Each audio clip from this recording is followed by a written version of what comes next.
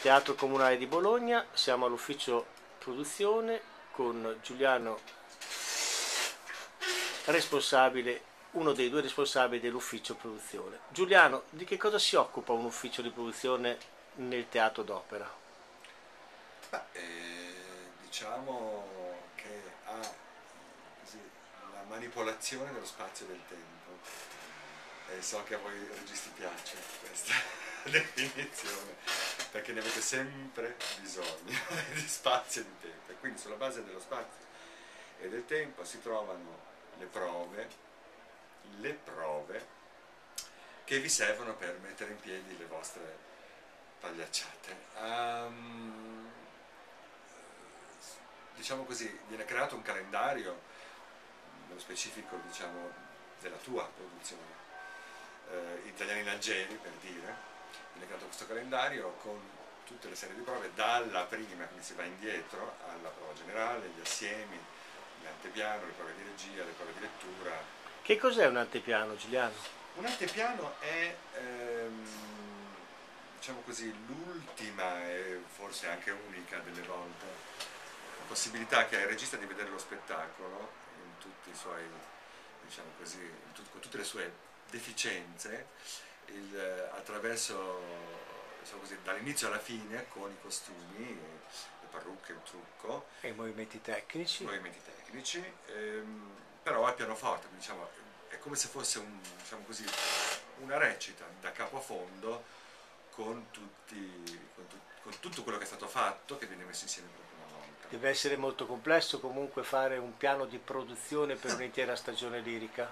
Guardi, non posso dire la difficoltà.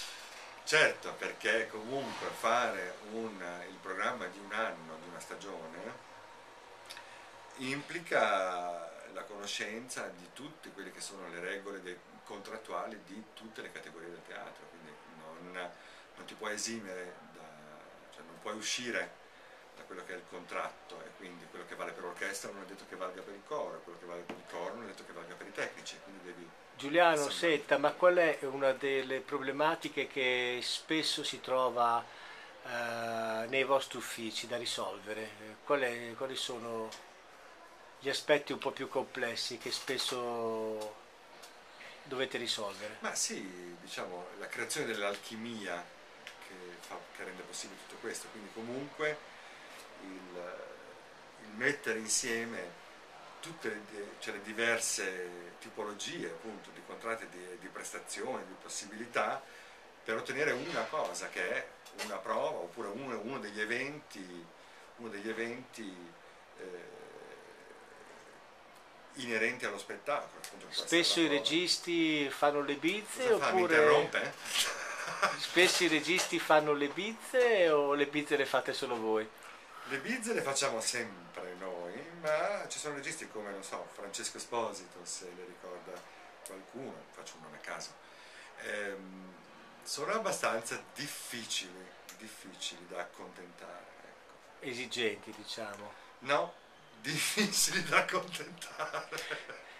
Mande ma manderemo dissociandoci questa intervista lo stesso in linea, ma ci dissociamo volentieri. Mi stia bene. La ringrazio Giuliano, a prestissimo, la simpatia unita alla professionalità è una bellissima valvola di sfogo per tutti noi. Grazie Giuliano, a presto. Grazie a lei.